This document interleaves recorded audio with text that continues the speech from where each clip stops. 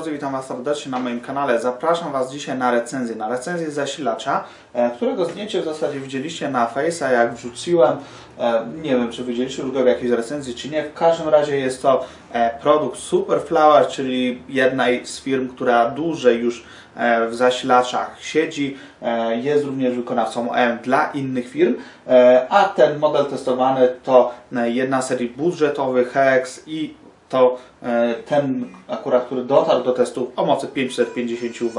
Zapraszam. Moi drodzy, zacznijmy od tego, że przyjrzymy się samemu zasilaczowi, a powiem Wam szczerze, że jest co oglądać. Niby zwykły zasilacz, ale tak.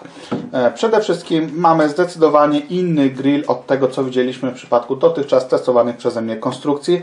Bardzo charakterystyczny dla Superflower, e, którym, za którym skrywa się 120 mm wentylator. E, Front. Front, moi drodzy, bardzo klasyczny, plaster miodu, dosyć duże te otwory, naklejka, że mam tutaj aktywny filtr PFC, ale akurat e, każdy dobry zasilacz aktywny filtr PFC posiada. E, Wejście zasilające i oczywiście switch umożliwiający wyłączenie nam całego zasilacza. Na górze obudowy po przeciwnej stronie wentylatora nie mamy kompletnie nic, natomiast bok. Pierwszy bok, gdybyśmy chcieli instalować zasilacz w ten sposób, czyli wentylatorem do góry, widzimy wytłoczone logo Superflower. Po stronie przeciwnej z kolei mamy naklejkę w takich dosyć ciekawych y, złoto-czarnych i czerwonych barwach e, z tabliczką znamionową. I przechodzimy sobie powoli, moi drodzy, właśnie do specyfikacji technicznej. E, Chciałbym zwrócić Waszą uwagę oczywiście e, przede wszystkim na linię 12V, moi drodzy, aż 45,5 ampera co daje aż 546 W e, możliwego obciążenia na tej linii przy maksymalnej mocy 550 W mm, zasilacza. Oczywiście to jest moc ciągła, a nie e, pikowa. W przypadku linii plus 3 i 3 i 5 V maksymalne obciążenie to 110 W. Pamiętajcie, że te wartości tutaj się nie sumują. Sama jednostka e, posiada e, certyfikat 80 plus e, Gold. Zasilacz Superflower HX550W to jest jednostka e, z pełnym okablowaniem. To nie jest ani konstrukcja semi-modularna, ani tym bardziej modularna. Wiązki posiadają bardzo estetyczny i solidnie wykonany oplot. E, Weźmy którąkolwiek. On nie zjeżdża. Nie widzimy tutaj jakichś nadmiarów kleju.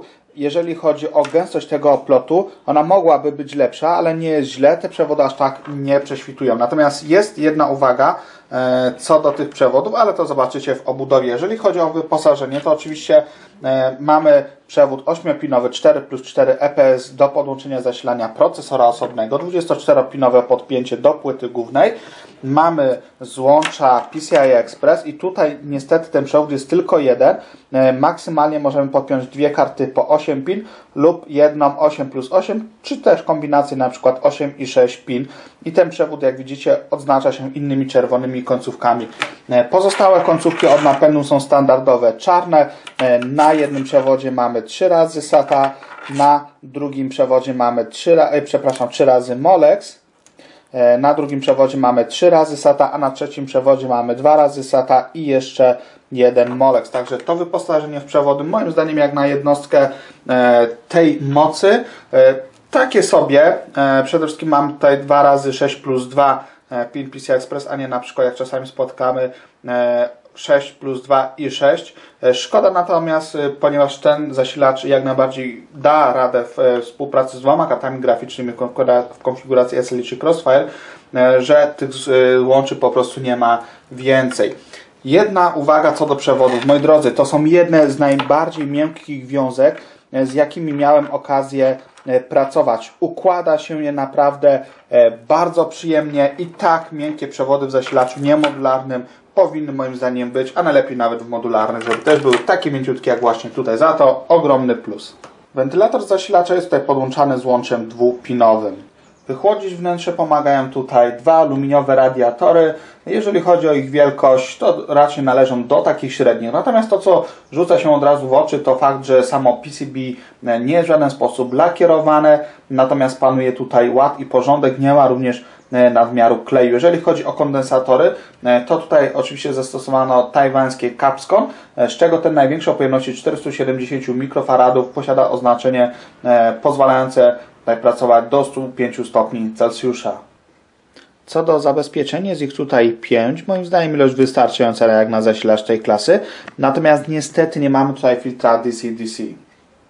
Jak widzicie, sam zasilacz w obudowie nie zajmuje za dużo miejsca. Jeżeli chodzi o jego długość, e, staram się tak zrobić, żebyście widzieli, to 14,5 cm, także ze spokojem wejdzie Wam do każdej obudowy, nawet takiej, która stosunkowo mało ma tego miejsca.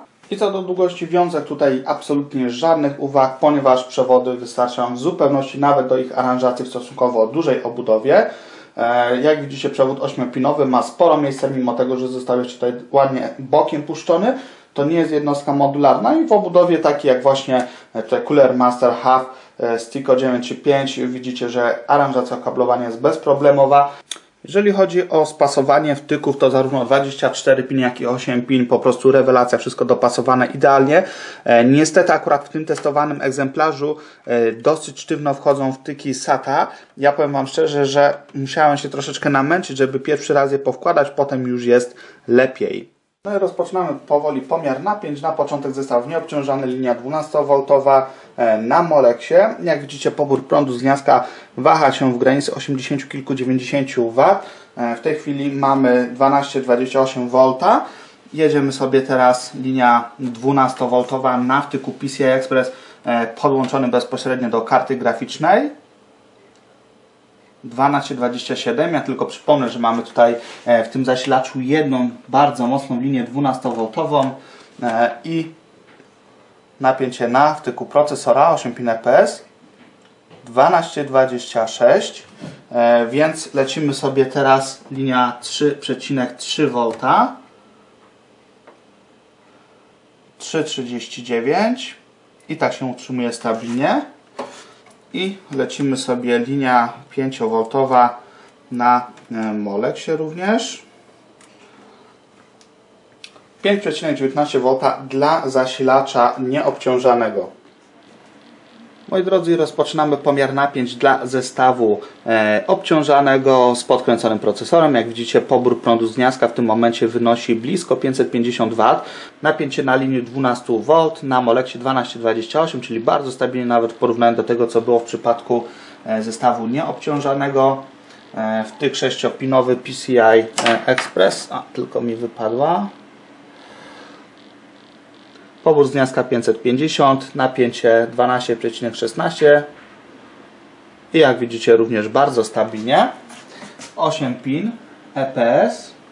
Jak widzicie 12,18 12,17 bardzo małe wahania na drugim miejscu po przecinku. Lecimy sobie linia 3,3 na wtyku 24-pinowym. 3,38 bardzo stabilnie przy poborze cały czas około 540-550 W z gniazdka. No i zostaje nam jeszcze linia 5V na wtyku Molex. O. I bardzo stabilnie 5,19 cały czas pobór prądu w granicy 540-550 W. Moi drodzy, no już jesteśmy po testach zasilacza e, Super Flower Hex e, 550 W i e, jakie wady, jakie zalety ten zasilacz posiada. Zacznę może od wad. E, Przede wszystkim ta konstrukcja niestety, ale nie posiada filtra DC-DC. To jest podstawowa rzecz. E, Druga rzecz, głośność pracy. E, Niestety, ale ten 120 mm wentylator e, przy pełnym obciążeniu zasilacza, jaki tutaj mieliśmy na platformie testowej, e, Oczywiście i tak jest zagłuszany przez pozostałe podzespoły, ale jak ucho do niego przyłożymy, no to jest słyszalny. E, Kolejna rzecz, e, jeżeli chodzi o minusy, to moim zdaniem e, jednostka, która posiada już moc 550 W, spokojnie mogłaby mieć dwa takie przewody, przynajmniej jeden dodatkowo jeszcze e, 6 plus 2 pin i 6-pinowy razem, tak jak w tym przypadku, z tym, że tutaj mamy 2 razy 6 plus 2 pin.